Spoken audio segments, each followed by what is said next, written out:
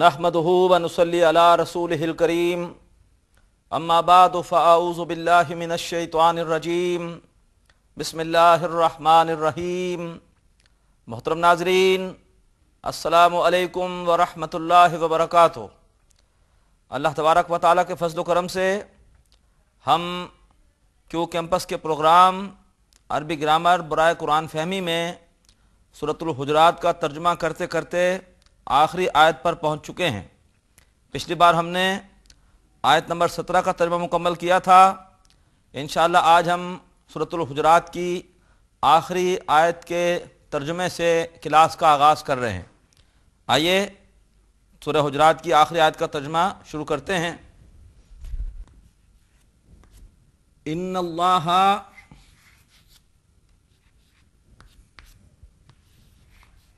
यालमु इन अल्लाह यालमु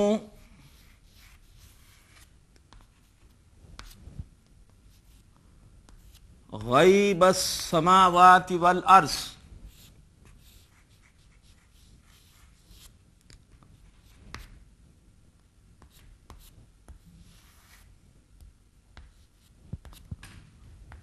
गैब समावाती वल अर्जी। इन्ना, ये इससे पहले भी कई मरतब आ चुका है हर्फ। ये हरूफ मुशबा बिल फेल में से है। और ये हरूफ अपने इसम को हालत नसब में ले आते हैं। इन्ना, अन्ना, लाकिन्ना, ला अल्लाह लईता का अन्ना, ये छः हरूफ मुशबा बिल फेल हैं। इन अल्लाह बेशक अल्लाह इन अल्लाह यालमो यालमो अलामत मुजारे या बता रही है कि ये मुजारे है और मुजारम का भी ये बिल्कुल पहला सीगा है मादा होता है आइन लाम और मीम और जब आप जाकर देखेंगे लुगत में तो लिखा हुआ होगा कि ये बाब समय से होता है। समय आ, यस माऊ। तो यस माऊ के वज़न पर है या लमू। यस माऊ, या लमू। इसका मतलब होता है जानना। बेशक अल्लाह या लमू जानता है। बेशक अल्लाह जानता है। क्या जानता है? गईबस समावाति वल अर्ज़। गईबा गईबा पर नसब है। क्यों? इसलिए कि ये मफूल है। अल्लाह तबारक व ताली फ़ाइल है, यालम फ़ेल है और गईबा मफूल है। गईबस समावाती वल अर्जी, ये पूरे का पूरा मरकब इजाफ़ी है। मरकब इजाफ़ी में दो कंपोनेंट्स होते हैं। एक मुजाफ और दूसरा मुजाफ इले यहाँ पर गैब मुजाफ है असमावत और अलअर्ज ये मुजाफ इले है। मुजाफ के बारे में नोट कीजिए कि इस पर अल नहीं आता। और ये खफीफ होता है, यानी इसमें तनवीन नहीं आती, या नून अगर हो तस्निया का या जमा सालिम का तो वो गिरा देते हैं। तो यहाँ पर इस वजह से इस पर तनवीन नहीं है, हरकत एक है। हरकत नसब की है। क्यों? इसलिए कि ये मफूल है। और मुसाफिर के बारे में एक ही शर्त होती है और वो ये कि वो हालत जर में होता है। तो असमावत ये हालत जर में है और ये असल में समाउन कहते हैं आसमान को। और ये समाउन की जमा साल मोनस है। अरबी में समाउन आसमान मोनस माना जाता है। और इसका असल में जो मादा होता है, वो होता है सीन, मीम और वाओ। अलबत्ता वाओ बदल जाता है हमज़ा में जब भी उससे पहले एक अलिफ हो। जब भी अलिफ होगा किसी भी सीगे में तो उसके बाद का हरफ लत वो हमज़ा में बदल जाएगा। तो असल में ये था समावन समावन जो कि तब्दील होकर हो गया समाउन। वाव बदल गई हमज़ा में। वरना हकीकत में यहाँ पर वाव थी। अब जब आप इसकी जमा सालिम मोहनस बनाएँगे तो वो बनेगी समावातुन, समावातिन समावातिन। समावातुन, ये होगा हालत रफा में, और हालत नसब और जर में होगा समावातिन। समावातिन। तो यहाँ पर यह है, समावात अल की वजह से हरकत एक है, तनवीन नहीं है। असमावात तो अल्लाह ताला जानता है आसमानों के गैब, यानी आसमानों के राज। वल अर्जी। और दूसरा इसमें मुजाफ इले है, अल अर्ज़। असमावाद भी मुजाफ इले है, अल अर्ज़ भी मुजाफ इले है। दरमियान में जो वाव है, ये वाव अतफी है। ये हरूफ अतफ में से है।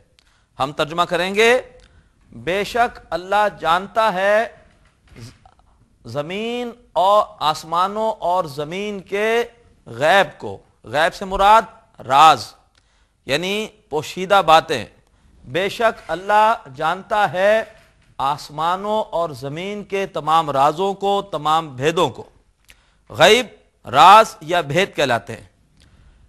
यहाँ पर चूँकि ज़िक्र चल रहा है ईमान का, और ईमान ये असल में जैसे हमने इससे पहले पढ़ा इसी सूरत में कि उसका ताल्लुक कल्ब से होता है। ईमान किसी भी शख्स के दिल में होता है, और दिल को, दिल के अंदर की हकीकत को सिवाय अल्लाह की कोई नहीं जानता। तो बेशक अल्लाह ताला जानता है आसमानों और ज़मीन के राजों को। उसके बाद फरमाया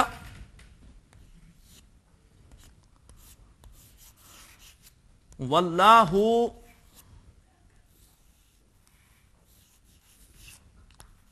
वल्लाहु बसीरुम वल्लाहु बसीरुम बिमा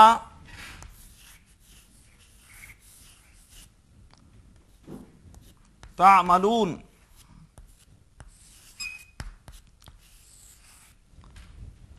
वल्लाहु अब ये जो वाव है, इस वाव को कहते हैं कि ये इस्तीनाफ का वाव है। क्यों? इसलिए कि अब यहाँ पर एक अलग जुमला शुरू हो रहा है। इससे पहले वाव अतफ का था। क्यों? कि ये दो असमा के दरमियान था। कोई नया जुमला शुरू नहीं हो रहा था। लेकिन जब कोई नया जुमला शुरू हो तो फिर वो वाव, जो कि दो जुमलों को सेपरेट करता है, उसे वाव इस्तीनाफ कहते हैं। तो ये इस्तीनाफ का वाव है। इस्तीनाफ।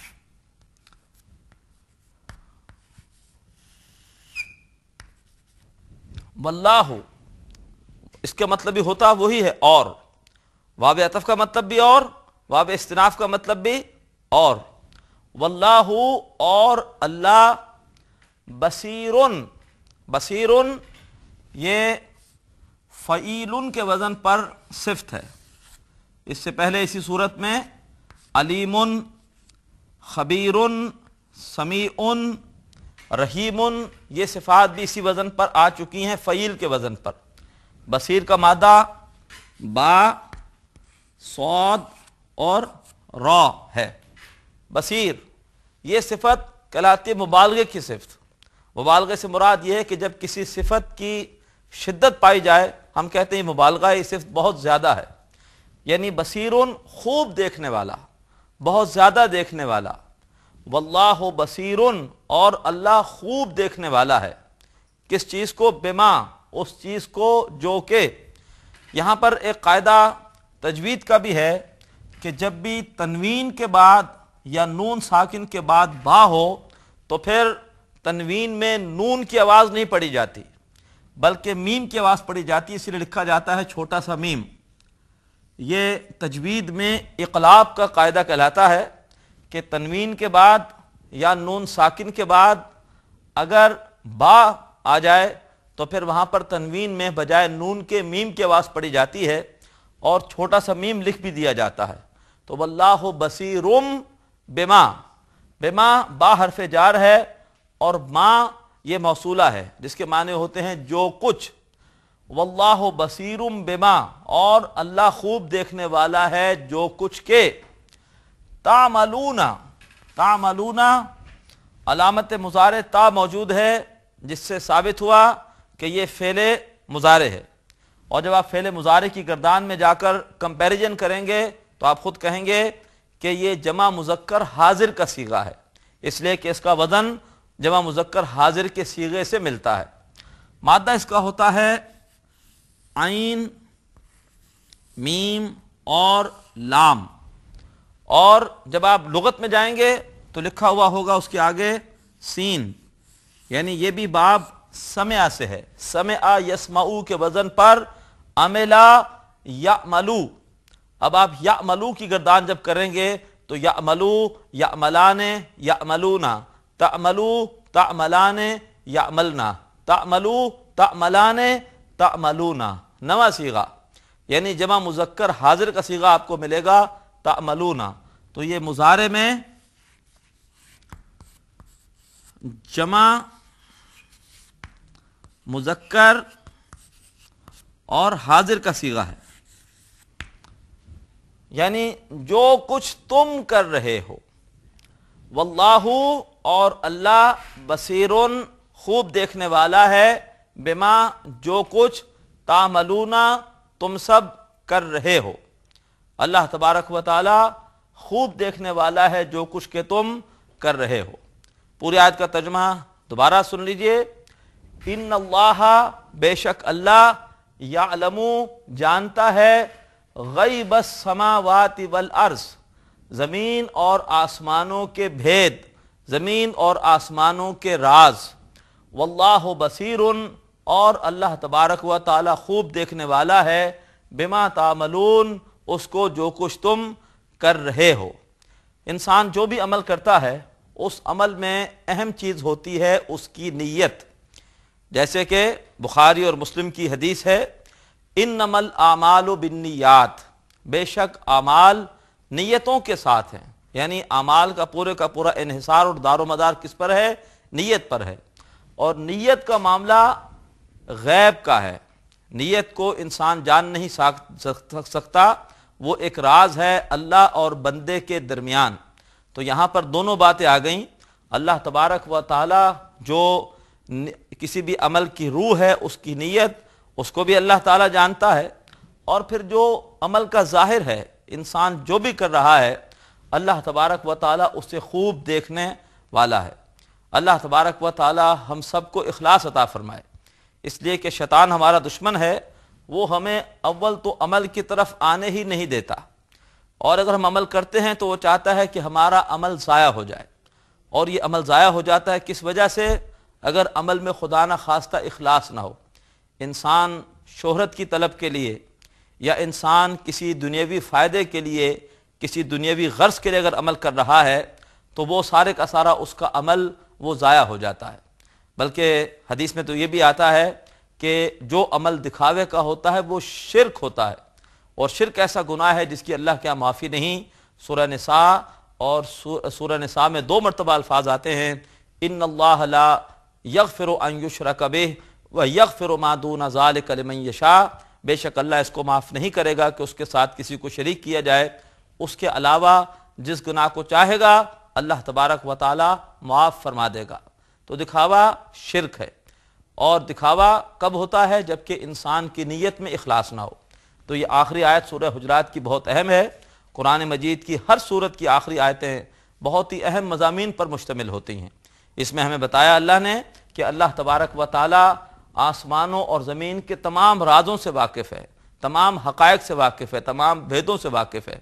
और फिर ख़ास तौर पर फोकस किया गया इंसानों पर। फरमाया, वल्लाह बसीर और अल्लाह ताला खूब देखने वाला है। बिमा तामलून, जो कुछ के तुम अमल कर रहे हो, वो सब का सब अल्लाह ताला के इल्म है। अल्हम्दुलिल्लाह के सूरह हजरात का ये तर्जमा मुकम्मल हुआ और बड़ी अहम हिदायत अल्लाह तबारक व ताली ने हमें इस सूरत में अता फरमाई। इस सूरत में अल्लाह तबारक व ताली ने हमें ये भी बताया, बिल्कुल इब्तदाई आयत में, कि अपने मामला को अल्लाह उसके रसूल से आगे ना बढ़ाओ यानी तुम्हारा हर काम कुरान और सुन्नत के दायरे में होना चाहिए। कोई ऐसा काम करो ही नहीं जो कि कुरान और सुन्नत से साबित ना हो। जो भी तुम अमल कर रहे हो, तुम्हारे पास वाज दलील हो कि हाँ ये जो मैं काम कर रहा हूँ, ये कुरान मजीद में है, या यह है कि ये नबी करीम सल्लल्लाहु अलैहि वसल्लम और आपके तरबियत याफ्ता सहाबा भी करते थे। अगर ऐसा सबूत हमारे पास ना हो तो हमें ऐसा काम नहीं करना चाहिए। फिर इस सूरत में अल्लाह तबारक व ताली ने जनाब नबी करीम वसल्लम की अजमत बयान फरमाई कि उनके अदब और एहतराम का मामला यह है कि अगर खुदा न खास्ता उनके सामने अपनी बात को बुलंद कर दिया या उनकी हदीस पर अपनी किस राय को फोकियत दे दी तो सारे अमाल ज़ाया हो जाएँगे। तो खुद सोचिए कि जो लोग अल्लाह के रसूल की नाफरमानी करते हैं, उनका फिर क्या अंजाम होगा? अल्लाह ताला हमें से महफूज फरमाए। उसके बाद फरमाया कि देखो, अफवाहों पर कान मत धरो। हमेशा वो काम करो, वो बात कहो कि जिसके लिए तुम्हारे पास बाकायदा एक सबूत या दलील हो। उसके बाद फिर फरमाया कि देखो, अगर मोमिनों में से दो जमातें आपस में लड़ पड़ें तो तुम तमाशाई ना बनो, बल्कि कोशिश करो कि किसी तरह से झगड़ा ख़त्म हो, तुम्हें इस झगड़े से तकलीफ़ हो। तुम दोनों के दोनों ग्रोहों को सुलह पर आमादा करने की कोशिश करो। और अगर कोई ग्रोह सुलह पर आमादा ना हो तो तुम उस ग्रोह का बाइकाट करो उस ग्रोह के खिलाफ फिर तुम सबके सब मिलकर इकदाम करो, उस ग्रोह को मजबूर करो कि वो सुलह पर आमादा हो। और जब सुलह पर आमादा हो जाए तो अदल के साथ सुलह करा दो। उसके बाद ऐसी माशरती बुराइयाँ बताएँ कि जिनकी वजह से दिल आपस में फट जाते हैं, नफरतें पैदा होती हैं। मिसाल के तौर पर किसी का मज़ाक उड़ा देना, या फिर किसी को कोई ताना दे देना, और या फिर किसी को किसी गलत नाम के साथ पुकारना, उसकी कोई चिड़ जो है वो रख देना, जिससे कि वो नाराज़ होता हो। इसी तरीके पर फरमाया कि देखो किसी के बारे में खाम खाई की जासूसी ना किया करो कि इसके मामूलत क्या हैं, इसका आमदनी कितनी है, कहाँ से आती है, क्या है तजस ना किया करो। किसी के बारे में खाम खाई सुबह जन मत करो, इसी तरह से पीठ पीछे किसी की बुराई मत करो। उसके बाद फरमाया कि देखो सब के सब इंसान अल्लाह के निकाह में बराबर है। क्यों? इसलिए कि सबका खालिक अल्लाह है और सबके वालदेन हज़रत आदम और अम्मा हवा सलाम अलहिमा हैं। गोरे को काले पर, काले को गोरे पर कोई फजीलत हासिल नहीं। अरबी को अजमी पर, अजमी को अरबी पर कोई फजीलत हासिल नहीं। अल्लाह के यहाँ नस्ल की बुनियाद पर, रंग की बुनियाद पर, ज़ुबान की बुनियाद पर किसी को कोई फजीलत नहीं मिलेगी। ना कोई अहमियत किसी सैयद की है और ना ही खुदा न खास्ता कोई मोची, कोई मुसली वो ऐसा है जो कि खुदा न खास्ता पैदाइशी एतबार से घटिया है। ये बरहमन और शूदर की तकसीम, ये इस्लाम की नहीं है। अल्लाह के यहाँ ज़्यादा इज़्ज़त वाला वो है जो कि तुम में से ज़्यादा मुत्तकी है। उसके बाद फिर फरमाया कि बाज़ लोग महज ज़ुबानी इकरार जो कि इस्लाम है, उसी पर इतराते हैं। फरमाया कि नहीं, अल्लाह को महज इकरार बिल्लिसान ज़ुबानी इकरार मतलूब नहीं है। अल्लाह ताला चाहते हैं तुम्हारे दिलों में ईमान पैदा हो। और ईमान की अलामत क्या है? उसके बारे में इस सूरत की आयत नंबर पंद्रह में बताया कि ईमान की अलामत यह है कि तुम बिल्कुल यकसू हो और तुम ये तय कर लो कि कोई खुश होता है तो खुश हो, नाराज़ होता है तो नाराज़ हो, चाहे फ़ायदा हो, चाहे नुकसान हो। मैंने हर सूरत में अल्लाह और उसके हबीब सल्लल्लाहु अलैहि वसल्लम के अहकामात ही की पैरवी करनी है। मैंने उन्हीं के तरीकों पर चलना है और उसके बाद तो माल और जान से अल्लाह की राह में जिहाद करो। अल्लाह तबारक व ताली के दीन को अपने वजूद पे गालिब करो। तबलीग के ज़रिए से लोगों पर यह वाज करो कि हमें अल्लाह तबारक व ताली ही के अहकाम पर अमल करना है, उसी के अहकाम को नाफिज करना है। और उसके बाद मिलकर एक ऐसी इज्तमाहीत तैयार करो कि वो फिर मिलकर जद्दोजहद करे और पूरे के पूरे माशरे पर अल्लाह तबारक व ताली के दीन को उसी तरह से गालिब करने की कोशिश करे, जैसे कि अल्लाह तबारक व ताली के दीन को गालिब किया था जनाब नबी करीम सल्लल्लाहु अलैहि वसल्लम और आपके साथ, आपके जानसार साहब कराम ने। अल्लाह करे कि हम भी इस तरह से जहाद करके अपने माशरे में शरीयत को नाफिज करें। आज माशरे में जुल्म है, ज़्यादती है, उसकी वजह क्या है कि अदल सिर्फ़ और सिर्फ़ अल्लाह तबारक व ताली के अता करदा कानून, अल्लाह के अता करदा निज़ाम में है। और वो निज़ाम चूँकि नाफिज नहीं है, उस वजह से आज लूट गसूट और जुल्म है। हमारे लिए अदल का सिर्फ़ और सिर्फ़ एक ही ज़रिया है और वो ये है कि हम सब के सब मिलकर अल्लाह तबारक व ताली के दीन के गलबे की जद्दोजहद करें। यह हमारे ऊपर बहुत बड़ा एक कर्ज है। वरना हम दावा करते हैं कि हमारे दीन इस्लाम में ज़िंदगी के हर मसले का हल मौजूद है, लेकिन आज हम उसकी को अमली मिसाल नहीं पेश कर सके। और उसके बाद फिर सूरत के आखिरी हिस्से में फरमाया कि नबी, ये अजीब लोग हैं ये आप पर एहसान कर रहे हैं कि वो इस्लाम ले आए हैं।